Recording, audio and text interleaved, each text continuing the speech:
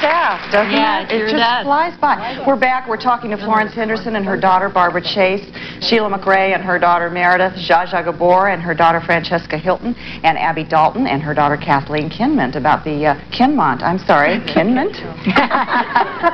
we're talking about the pleasures and perils of the mother-daughter relationship, and segment one went very smoothly. Barbara, hardest thing about growing up with uh, Mrs. Brady for your mom, what would you say it was? Probably finding out that Greg Brady was really my father.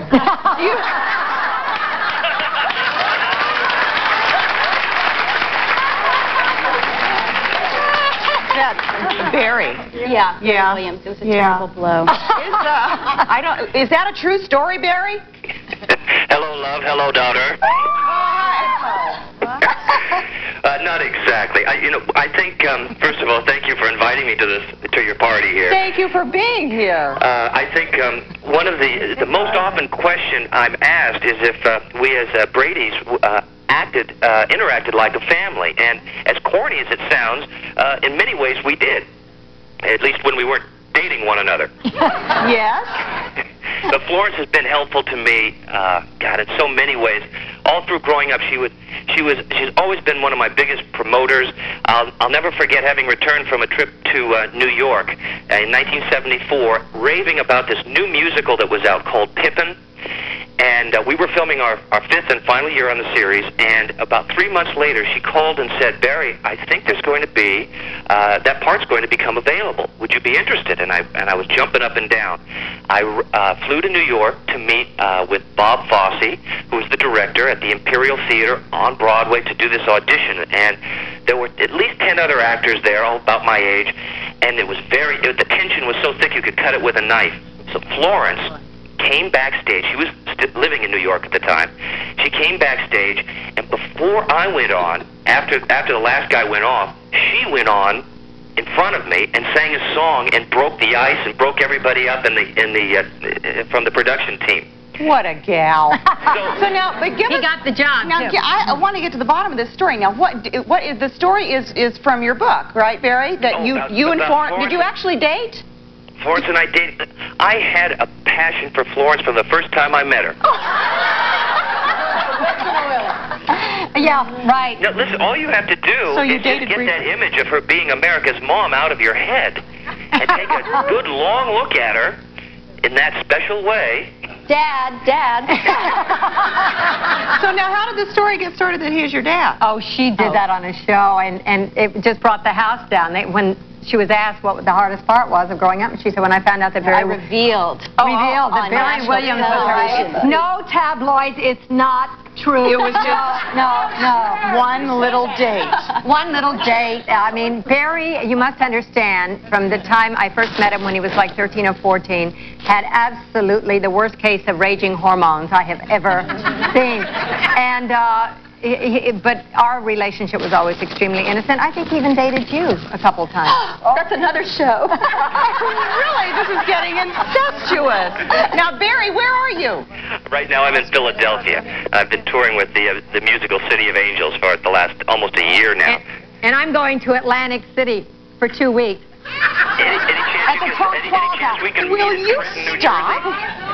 For heaven's sake. Barry, thank you.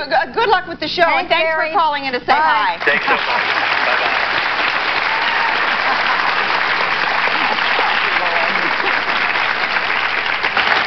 Meredith, hardest part about uh, hardest thing growing up with a celebrity. Well, you had celebrity parents. Hardest thing? Right. Yeah. Well, first of all, mother dated a younger man recently. This wasn't growing up, but she had a, a man younger than I was who had a ponytail and who swore all the time. He was obnoxious. But anyway, but I So forgive him. naturally, they made me get rid of Was he him. wonderful? It was wonderful. So how could you get rid of a man who's wonderful? Because my family wouldn't talk to me if I didn't. No, so being a That great mother. exist. That's not true. Yes, it is. No, but I think, in answer to your question, seriously, the I think that you know, being born into a show business family obviously has advantages and disadvantages. The advantages are, you know, everybody that you know, all your parents' friends are famous. It was Aunt Doris Day and Uncle Marty Melcher and Aunt.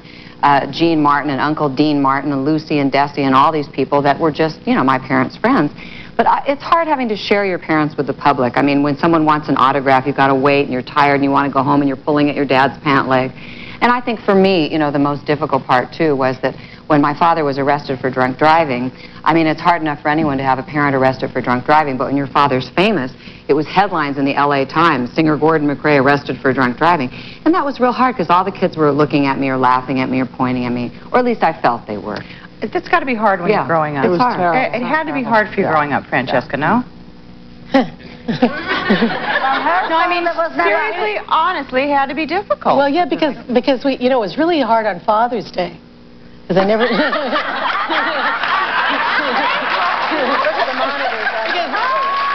Because I oh, oh, oh, look at that. Cute. oh my. Francesca's father was never arrested for drug Only you. For the only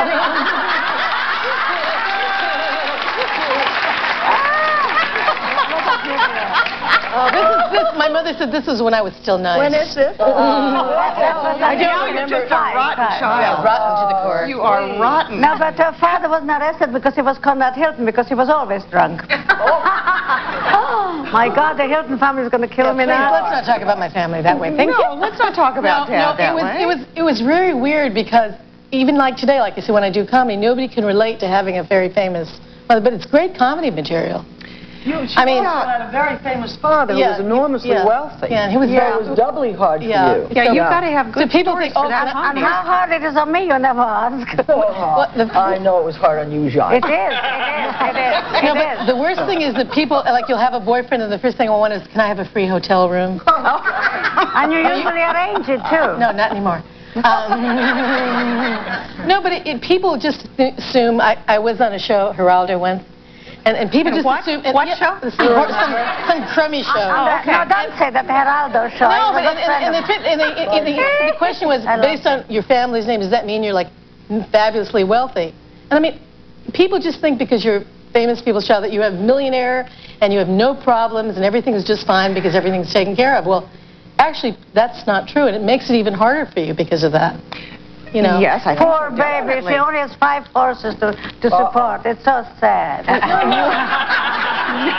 no, I think there are a lot of problems. We, we didn't even get down to you guys. We'll take a break. We'll come back and we'll talk. We'll talk to Kathleen and Abby in a minute. on Vicki.